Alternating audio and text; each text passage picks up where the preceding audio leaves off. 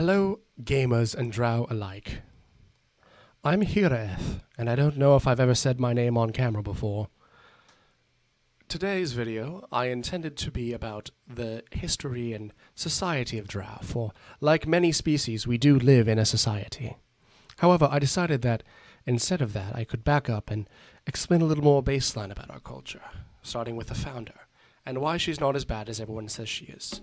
Today I'm talking about Lolth, also known as Loth, or the Queen of the Demon Web Pits.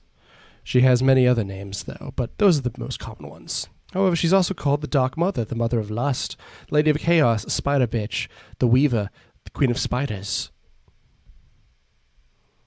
and I think a few others.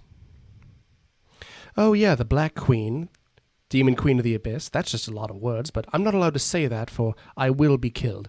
Lady of Trickery and Destruction, Weaver of Poison of Fate, Ruler of the Material Worlds of Spiderkind, and her Eightfold Majesty.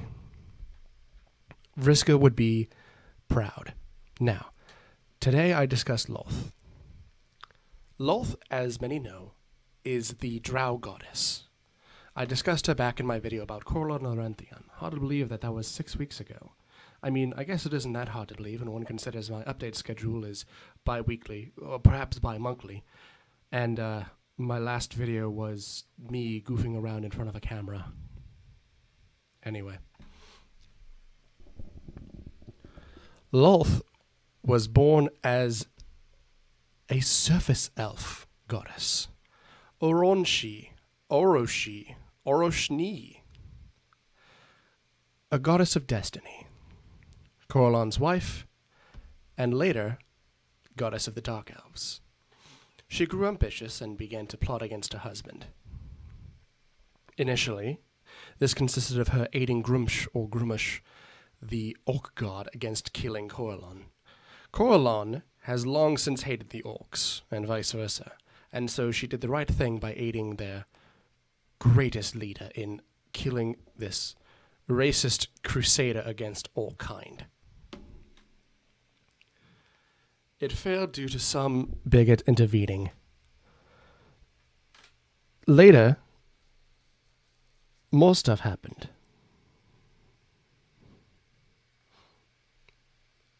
I'm not actually allowed to talk about this. I'm not a cleric, so I can only say what I know.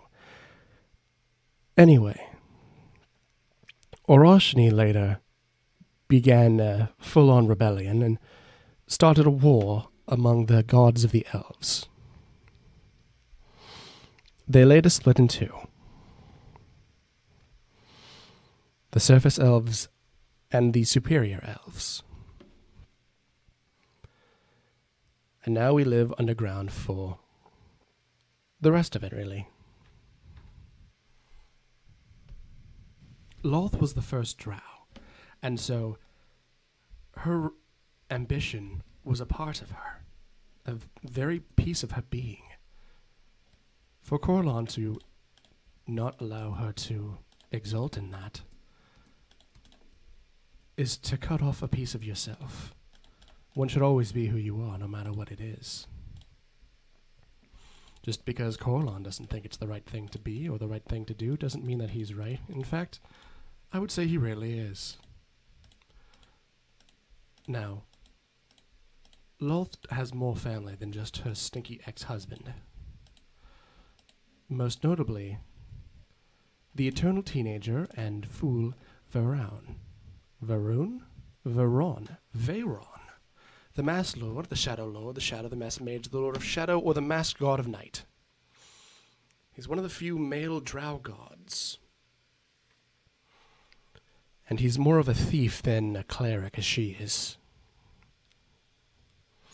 He has the stupid view that drow males and females should be equal, which would give us more of a termite aesthetic than a spider aesthetic. You know, actually, now that I think of it, it doesn't really make sense that drow are spider aesthetics. Really, having a queen that rules over it, and then various soldiers and females that do the work, and then mostly useless males that are really just there to be bags you milk the birth fluid out of, is really more of an ant thing, wouldn't you say? Anyway, because Veron is a Tumblr OC. His eyes change color to reflect his moods. He's something of a rebellious spirit, someone who fights Lolth. Veron is ambitious, but he does it against Lolth, which is not the correct thing to do. He also is a male, which means that he's not valid to begin with. Now, Veraun, I mention because he has a son, Selvetarm, also known as the Champion of Loth, or the Spider that Waits. He's called the Son of Loth, even though he's a grandson, but Drow aren't known for having particularly logical, you know, family origins. He's a war god, a fighter straight up and down. And he serves Loth and fights his dad. Now, Loth leads a pantheon called the Dark Seldarine, which is a cooler version of the normal Seldarine, which is Corellon Larethian's pantheon. There are, of course, more gods in that Seldarine. There's Ghaunadaur, who is a sort of slime and ooze god. There's Kiaransalee, a goddess of undead and more of a necromancer than a cleric. Melek and Zinzarea. Zinzarina. Interesting. There's also Keptola, who isn't really in the Seldarine, but he is kind of a male drow god, but we don't really need to talk about him. He's irrelevant. Loth existed in an environment where she was stifled, unable to really be herself. And um, of course, even if a certain Corellon Larethian did not agree with that self, she still should have been able to be it. Of course, this is able to justify every atrocity she committed, including all the genocide and the uh, institutionalized random killings of surface elves. Oh, yeah, if you've never heard of that, the uh, surface elves will sometimes be subject to raids by the drow. We'll just kind of go up there and kill them. It's a pastime, actually. All in the name of freedom. And that's the most important thing about Drow society. We do have that freedom, unless you're a man, to really just go fucking crazy. Anyway, I certainly was talking about something at some point, but I just got all misty eyed. Anyway, Loth was free to create a world where she was completely in control of things. This led to her great appreciation for things like sacrifice. Because really, if you can't appreciate a good sacrifice, you've never really lived. Now, Loth is subject to the whims of the above gods as well, and is forced to defend herself from them, which I think is the reason that we're supposed to kill the surface elves, but really we just do it because it's a lot of fun. Now, Loth. Hmm. Lolth certainly seemed to do nothing wrong. That should be fine, right?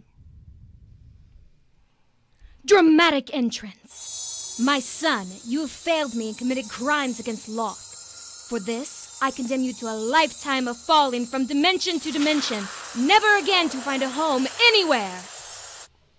Ah, strange. Well, it looks as though I'm being sucked away to another dimension for punishment for my crimes against Loth, I think. Um. Yes.